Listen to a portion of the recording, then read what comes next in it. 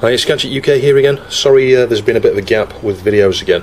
I've been meaning to do this for quite a while. I want a keyboard that I can use with my A2000 and the A4000 now as well. Now, uh, at the same time as this video, I'll upload the um, adapter there for converting from this, actually, to an A4000. But the principle is the same, you know, as long as you get the pinouts right, there's only a few connections. You've got like VCC ground, keyboard clock, and keyboard data four four connections in total. So, and that stands true of the A600, the A1200, the 500, the 3000, the 2000, the 4000, the CD32. I think all of them. I think all of the Amigas. So you could adapt a keyboard like this from an A500 to any of those other machines. But the nice thing is we've got a shell for this. I'll show you that in a second. But also, can you see here? I've changed the first key there just to give you uh, an indication. But I've got a new cap kit as well and not capacitors, I mean like keycaps, brand new set. I've got some white ones and some black ones. So as you can see, this is the uh, key kit here. Uh, we're just obviously missing that one key I took out. So you get them all stuck onto this uh, plastic thing here. You get a couple of different space bars uh, because I think there are subtle differences, aren't there? I think on the A600 is it smaller? I could be wrong. I think that big one there's the A500. And with those kits, you get brand new springs. You get a puller as well. I've got two because obviously got two of these kits, and you get the little plastic hooks there for clipping the various, uh, you know, the larger keys that have got those little clips that go through a bar. I'm not sure whether you get the bars. I can't see where is any of those in there. I think you may need to provide the bars yourself. And I've got a cable of just about the right length here. It's about a metre, a metre and a half or something, I think. Uh, and I've just gone with five pin DIN on both sides. It's a pass through and here's the case from Stephen Jones. So this is from the Checkmate range of things. You can see the logo here. So if you've watched uh, some videos out there, like on uh, I don't know uh, Retro Man Cave's channel, for example, he uh, has done a case build of this. There's loads of people who've done builds, I think, on their channels of these. I've just gone for the keyboard enclosure here, though. Uh, you can see there's uh, room there for the LEDs. Bear in mind, an A500 keyboard in here, the LEDs are not going to be doing anything actually with an A2000. So I need to do something with the keyboard to get those uh, to illuminate. Uh, maybe do something different with the, the floppy one.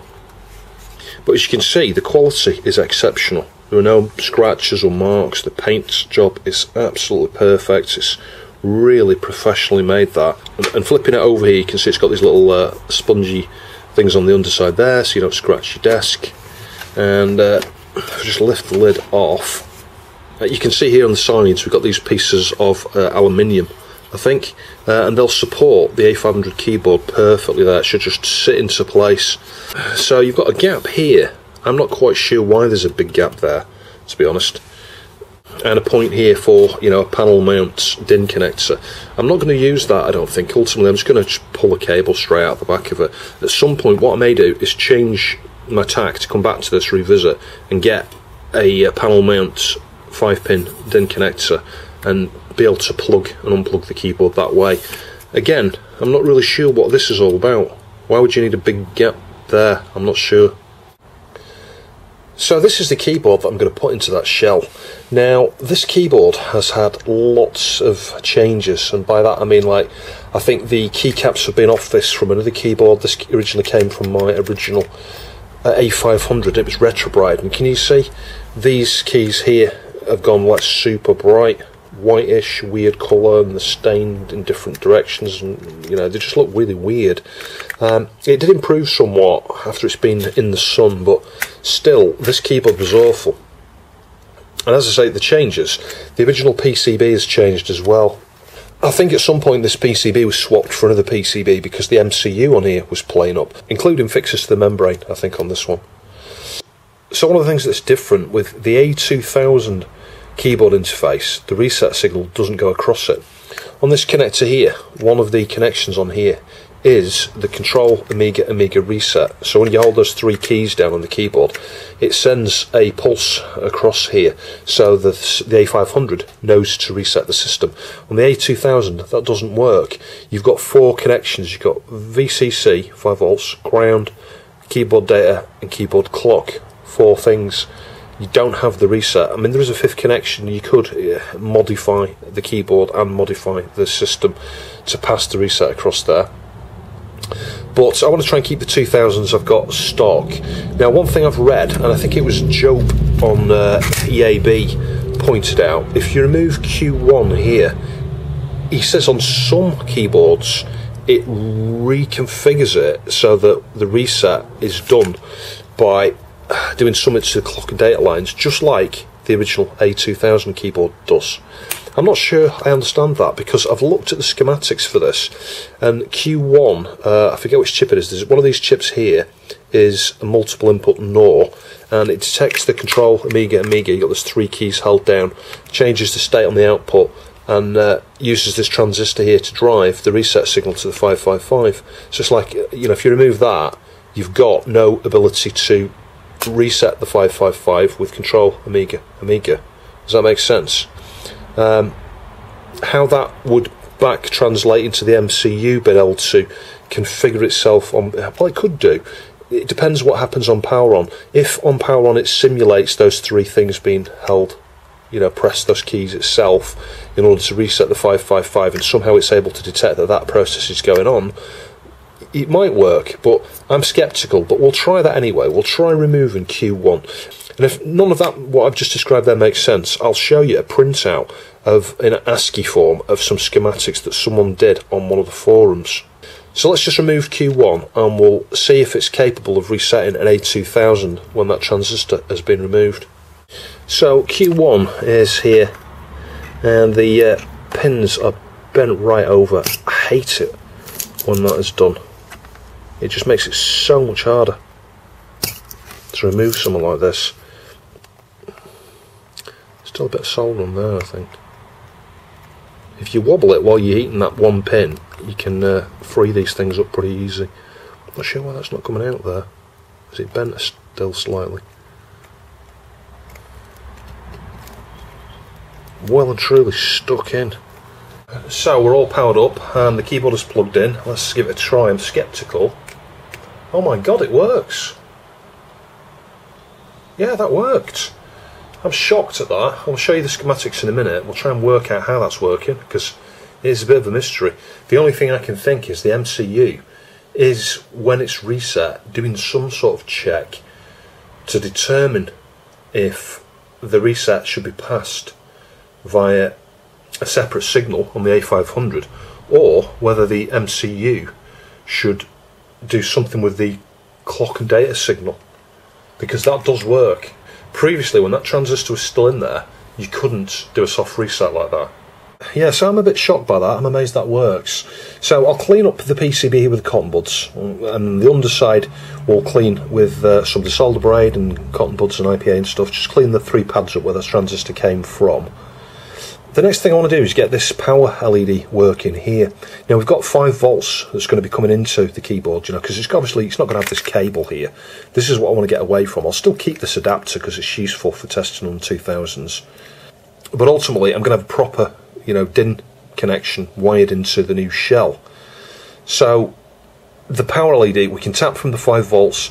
We just need to get a resistor of the right size, I think I think what I might do is just have a look at the schematics actually to see what voltage level, you know, how it's driven, how the power LED is driven. I know there's a transistor on the A500 motherboard normally, but I'd like to try and get the voltage as near as possible and stuff. So let's clean up those uh, pads with a bit of braid.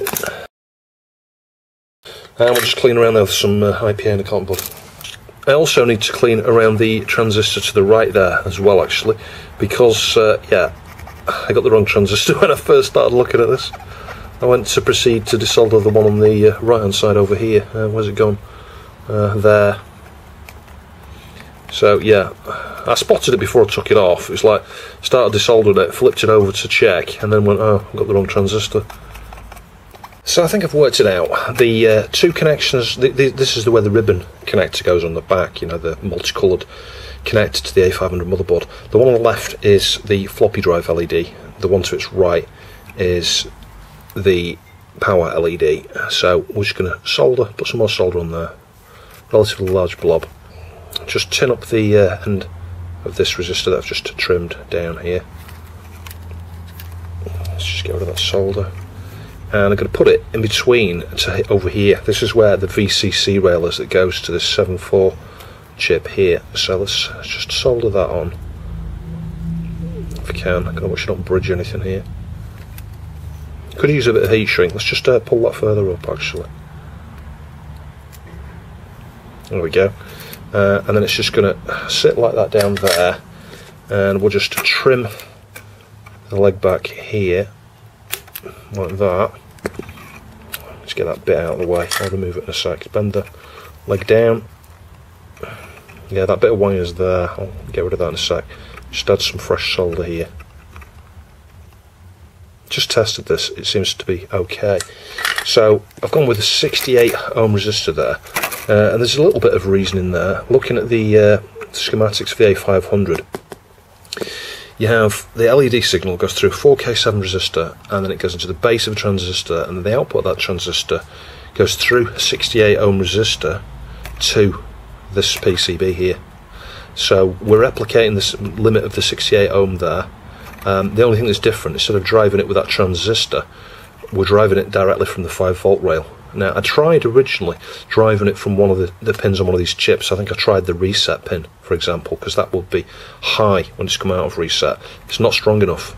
The, the voltage level is a bit low, it's like 4 point something volts, it's a little bit low. So that's when I've just gone across to the VCC pin here. Anyway, I'm going to clean that up with some IPA now, and I'll show you that that does indeed illuminate the power LED. The power LED on this keyboard is not very bright, it never has been. It's one of the earlier keyboards, I think. And you might not think that's uh, relevant, but it is. The LEDs are a bit different between the different boards there. For one thing, they're a different colour.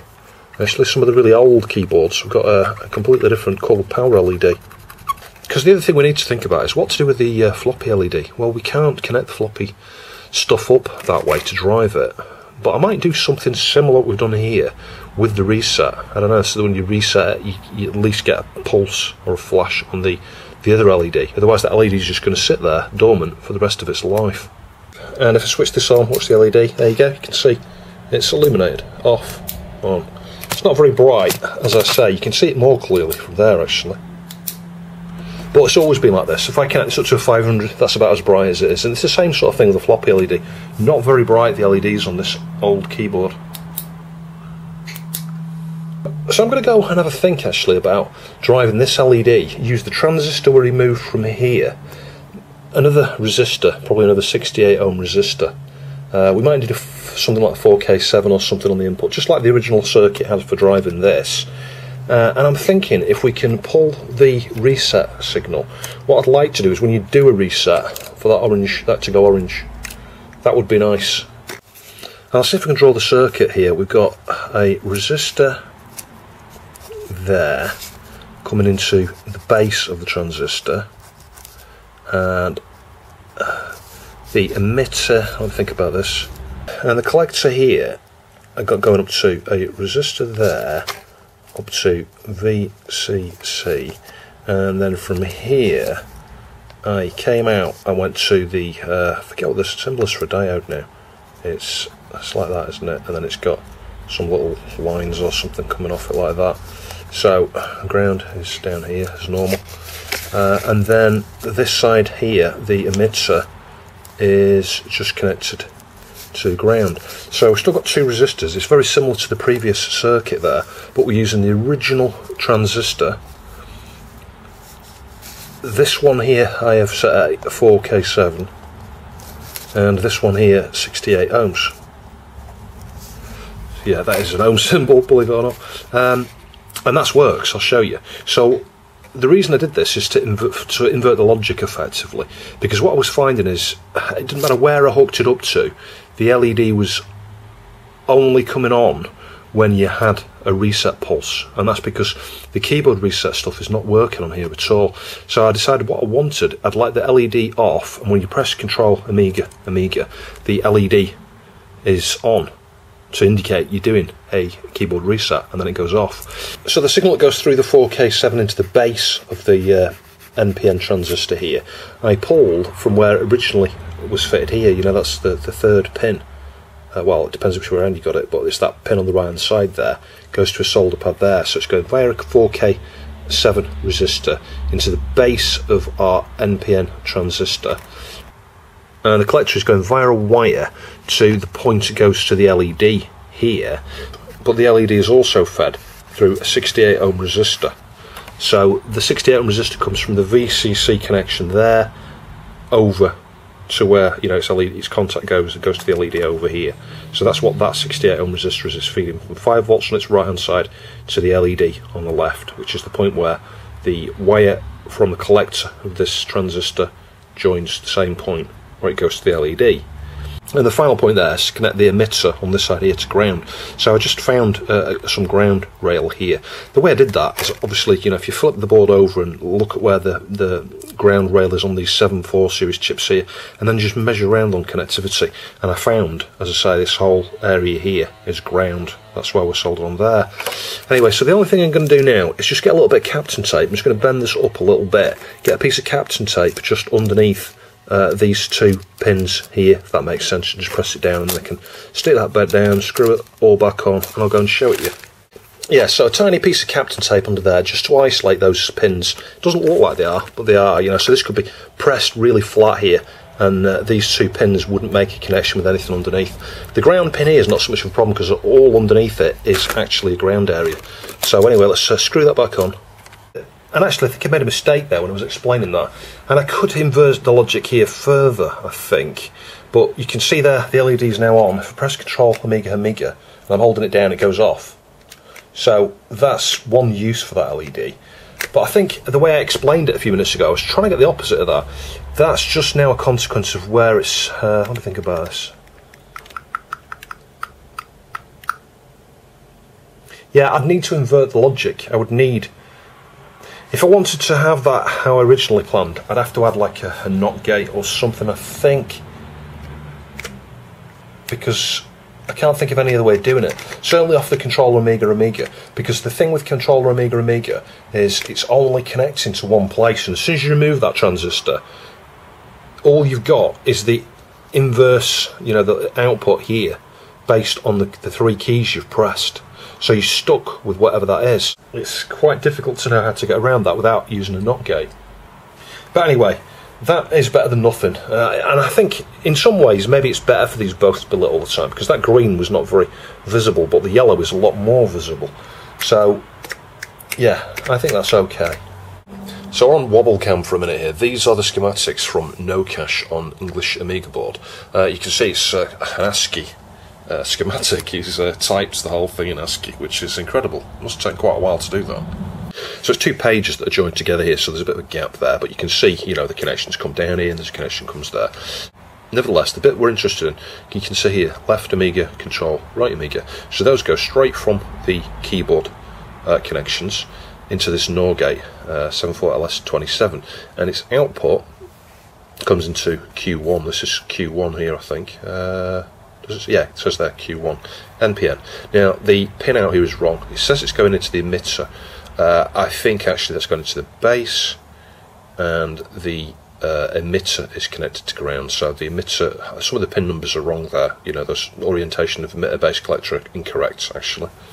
But the key is the signal. You know, you've got your reset. You've pressed your three keys. Comes through this transistor.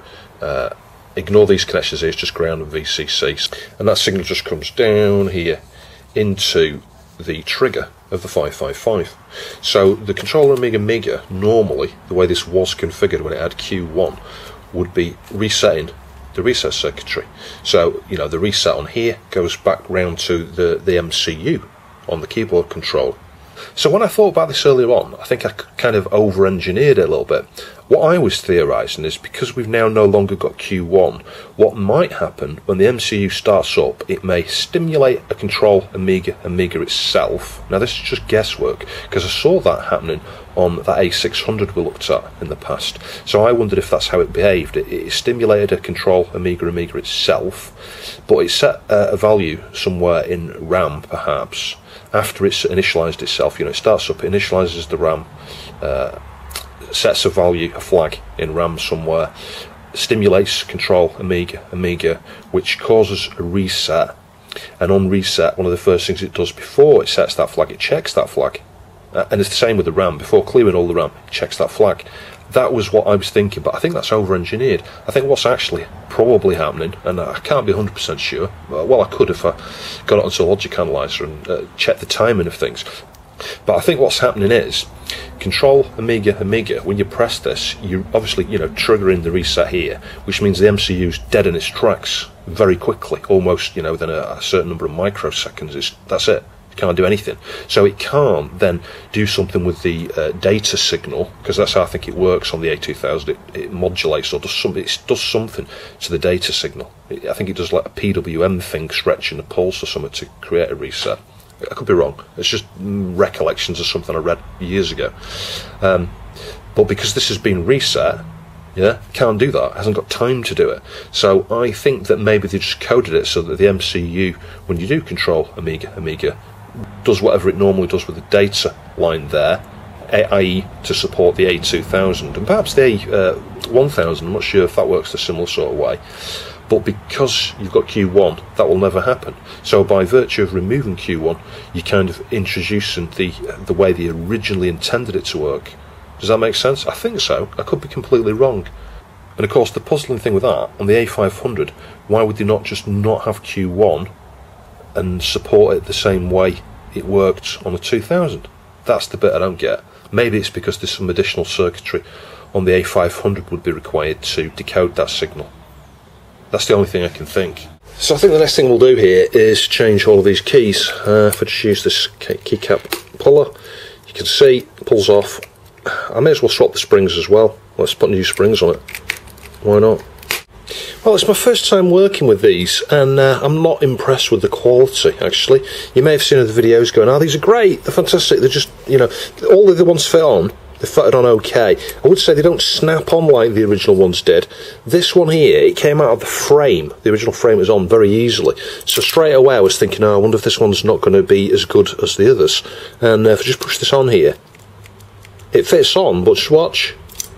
It just pops straight back off. So, yeah, some of these keys are not as good as others. I'm not sure why it's not clipping on there because if I show you if I get the original one let's just get any old key here.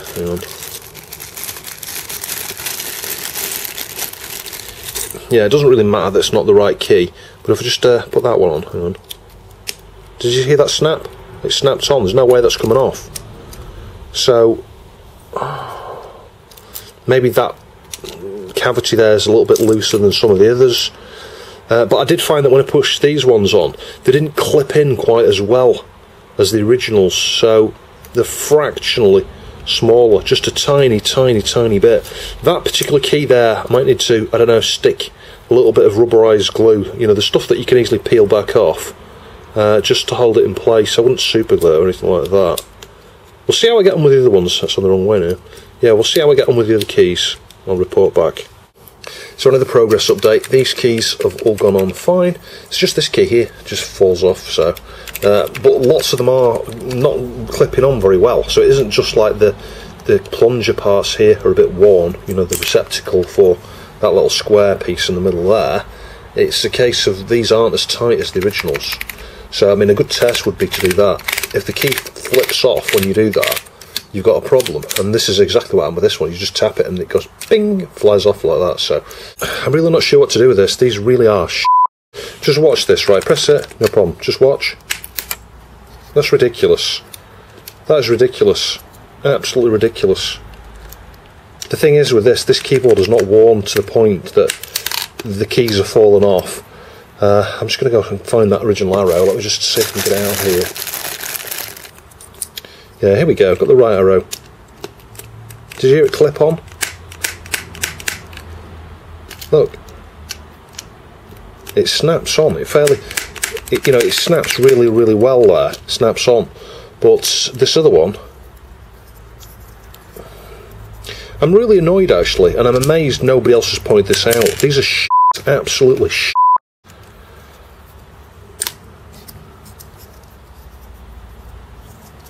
Now, the thing that's different about the way i do, I'm doing this, these keys have been sat around in a cold environment ever since I got the uh, the keys.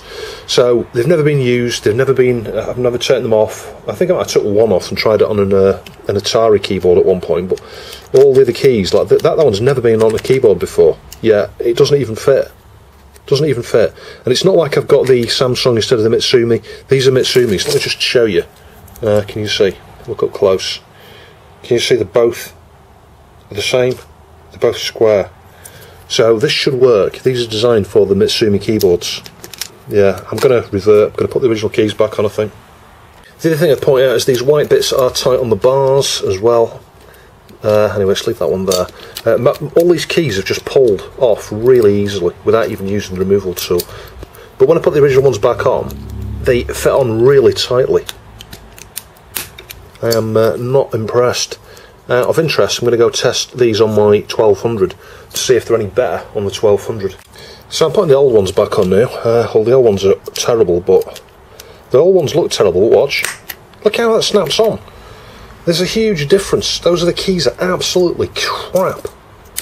So I can confirm they fit a little bit better on the A1200. You can do that and they don't flip off, but literally you can just pull it straight off with your hands without any tool, dead easy to get off and on. But it will just hold in place. I would imagine after a lot of use, or if it gets cold in the environment you are, keys could start popping off even on a 1200. So I don't know. Don't is it because these have been sat around not used for a year or more? Has something happened to them? I don't know. Right, so I've asked the question on Twitter and on my Discord there if uh, anybody knows what's going on with those keys. But I've tried them on my 1200s as I say, they're not good. They don't even work very well on the 1200 either. Um, so what I'm going to do is I've ordered a power mount connector for this, but in the meantime, I am just going to solder one side of this directly on. So I've nothing lost doing this. Buying this cable like this for a few pounds has meant that one side of it is already wired, and uh, we get a free connector as well. Uh, and these connectors sell for about a pound each or something. It's always nice to have an inline 5 pin DIN like this. So there you go, we're all done. So I've got the yellow wire coming to that pad there, the red one coming to this here, white to there, ground is the third one down there, you know, it's the third one of this strip. And that's it, just those four wires.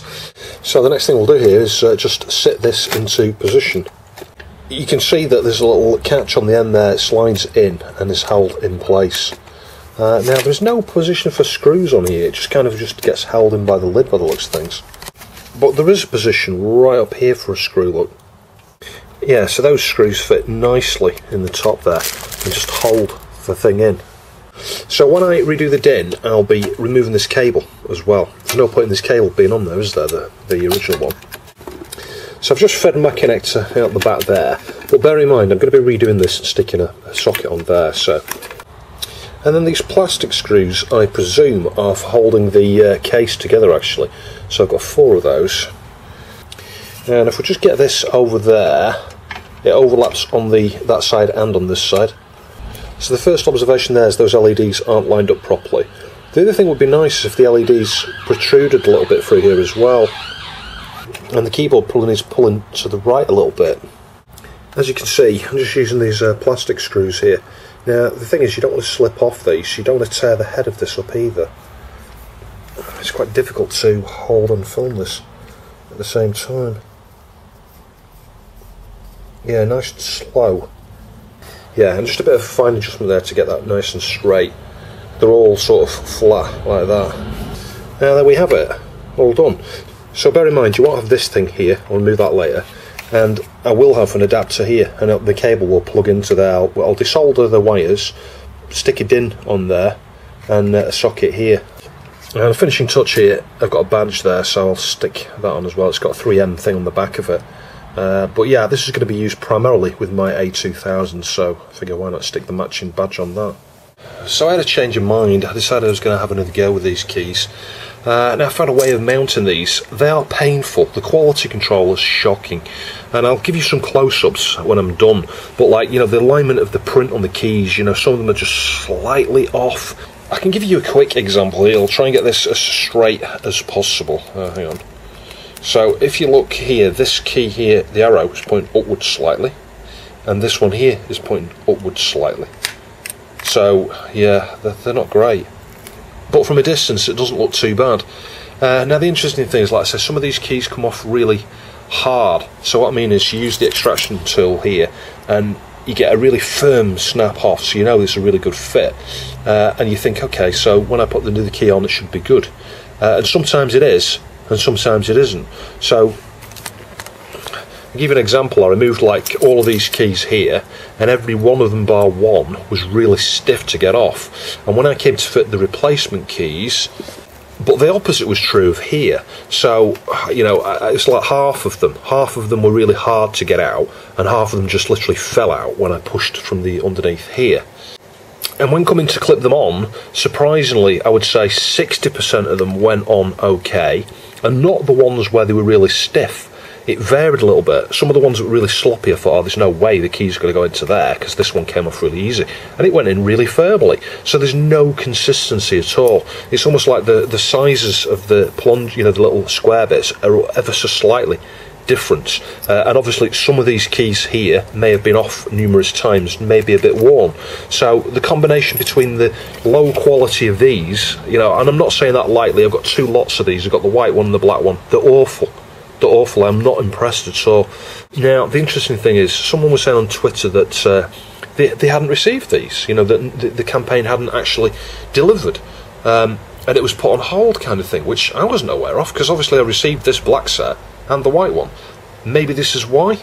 Maybe they had some quality control issues and they realised after they got the black and the white sets out that there was some sort of issue. I don't know.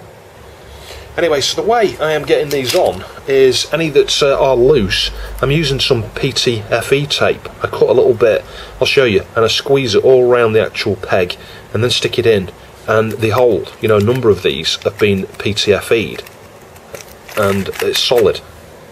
I'm using a screwdriver here that's just small enough to not damage it in any kind of way. You see that one came out uh, with a bit of resistance and that one did as well. So those I think are going to be good and we'll remove the G and the H from here.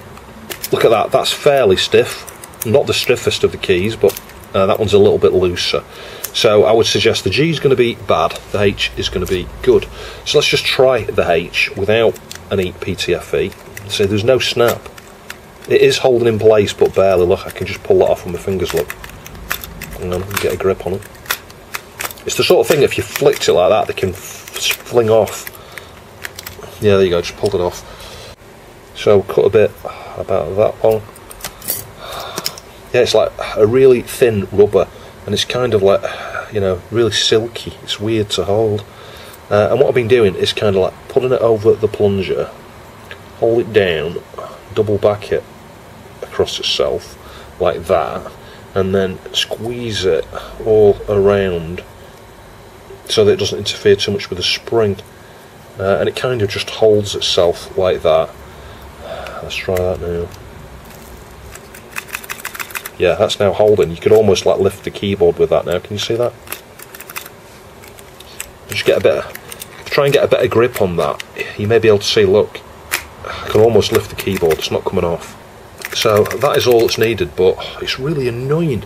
I've been at this for about two hours already.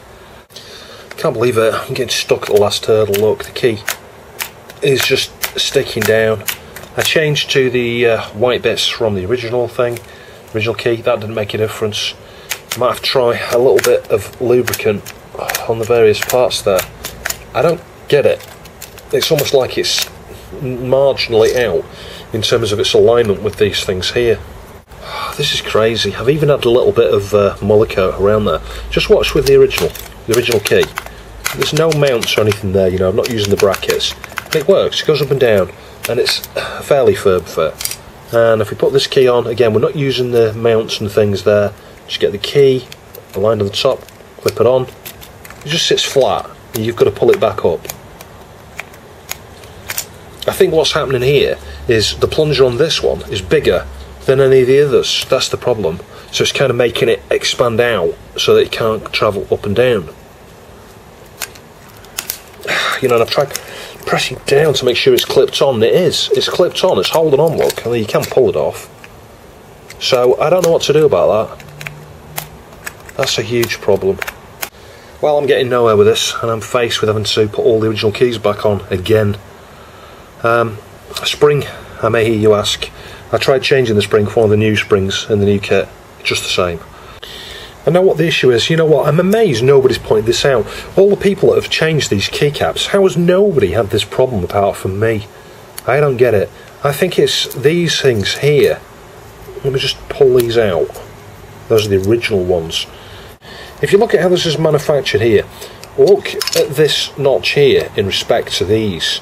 The tops of these here are actually lower down than the top on that. I don't know if you can see, it's just fractional. Like we're talking about half a millimetre or something. You know, the actual part here is just a little bit lower than this level. And on this, they've kind of centralised it. It's like this is in the centre of where this is. So these are in the wrong place. There's no way that's going to work without any issue. That is the problem, I'm sure of it. But now we've removed those things there, let's just see if that makes it any better. Yeah, look, it's a bit better. That's what it is. So these things are catching on the thing on the bottom. That's what the problem is. So I've managed to use the clip there. We can't have the one down here because uh, that's the problem. It's a stupid design. And I've got the clips, the black, those white plastic clips here are the ones that came with this set. I tried it with both. I tried a number of things to try and get that bar working, but anyway, you can see that is now working. Probably going to have to put PTFE on it again, I suspect. Is that going to hold on? It's going to come off too easily. So it's going to need some PTFE again. But anyway, it's okay. It's just not got the rigidity it would normally have at the bottom here because of that bar.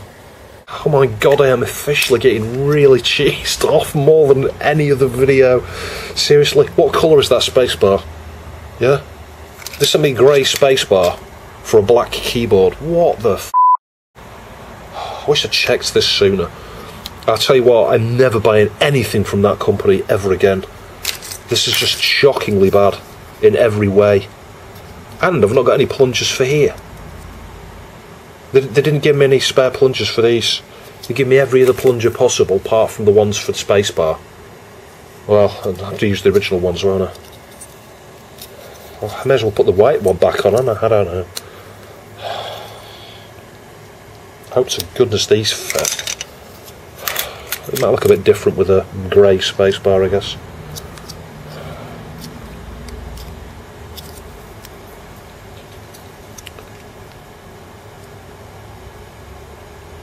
Looks like these go a specific way around actually.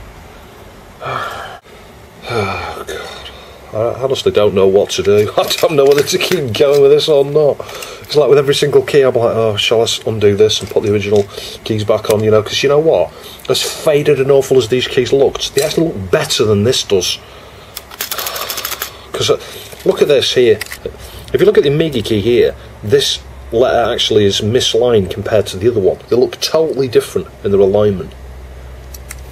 I mean, for the most part, as you go along the keys I've done there, they're not too bad. And because of the PTFE, on I would say 50% of them, they're not going to come off. They're okay.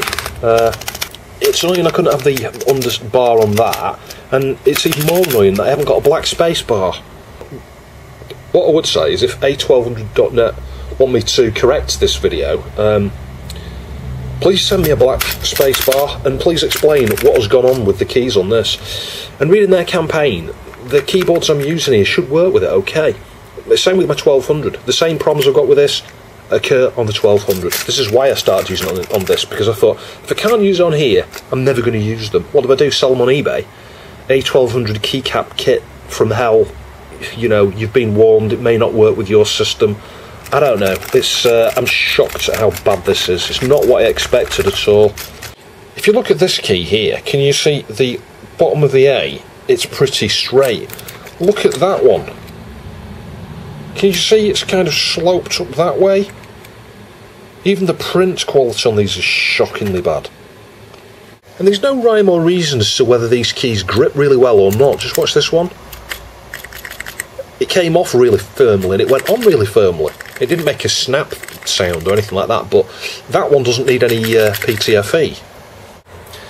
On a few of these keys, I've ended up using a piece of insulation tape because it's thicker. That key there was super troublesome. You just get popping off. You know, you do that and it would just flip off, even with uh, PTFE on it. So, yeah, again, I am not sure why. Why is there so much of a tolerance difference between the keys? Uh, and just to reiterate, the key that was on here, it came off really stiffly. It was really hard to get off. And it's not that it's not pressed down, you know, all the way.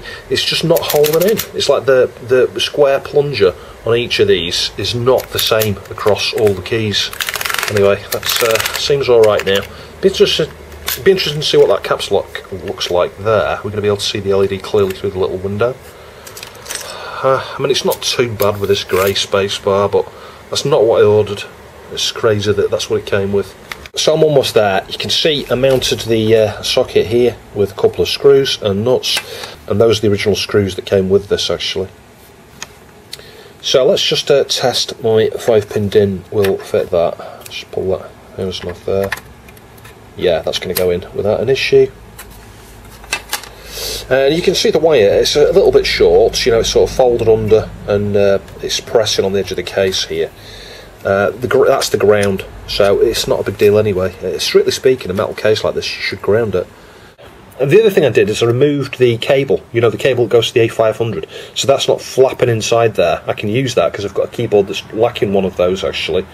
The benefit when I had the cable coming out of here without this plug on it is you can actually feed the excess cable back inside there. So when it's close up to an A2000, you wouldn't have tons of cable out the back. But again, you could do the exact same thing here. You could plug it in uh, and then just bend it and just tuck the excess cable in here like this.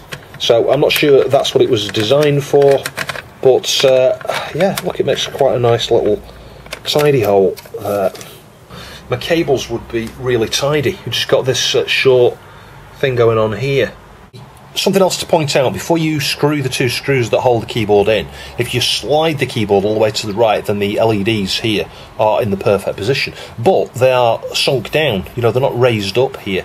So the, a few things there. I spoke to somebody else who'd got one of these and he said that his actually sat raised a little bit which is interesting. That may suggest that the rails on the inside that lift the keyboard up on his are slightly, uh, you know, slightly more inclined, or it could be a variation on the keyboards. You know, the height of the LEDs could vary a little bit. It's an earlier keyboard this, although it's got uh, the later uh, colour LEDs there. I think they were swapped around at some point. So, I mean, the other thing I could do is there's enough leg on the underside of where the LEDs are soldered on to pull it a little bit. So I could raise them up. I might do that later off camera if it's bothering me. But it would just look a little bit better if these were you know, sticking out just a tiny little bit, almost like level with the uh, gap, whereas at the moment they're kind of sunk down into the gap. So I think I'm happy with the end result. The only thing that's annoying me is this spacebar being uh, grey, although it's not that dissimilar, you know, if I tilt the keyboard, yeah, it stands out more when you look at it face on, but anyway, uh, I think it's turned out okay. And all the keys, uh, you know, fitting okay, not, not brilliantly, okay. They won't come off if you tap it when it's upside down, for example. Uh, if we go to key test, so let's just uh, quickly test everything here. Hopefully none of them will fly off when I do this. They shouldn't be. Yeah, we don't have that key there, we don't have the, the one down here because that's a different uh, keyboard. You only get that on 500 plus.